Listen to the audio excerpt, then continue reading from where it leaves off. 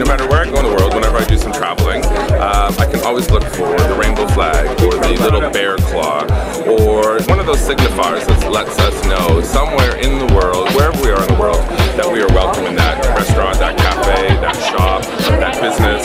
just that area. So when I see those little, little tiny poetic signifiers, to me that means human rights, and it's becoming more and more and more. Starting small, very grassroots, but now it's a lot bigger, and it's around the world, and it shows that we have rights, human rights, anywhere in the world.